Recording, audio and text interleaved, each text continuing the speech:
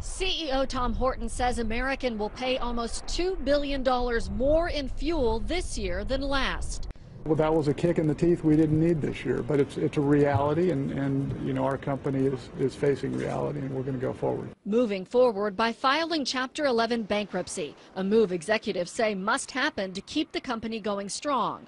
No word on what this means for the future of Tulsa's maintenance base or its nearly 7,000 workers, only to say they will be evaluating all facilities and that it's likely changes will be necessary.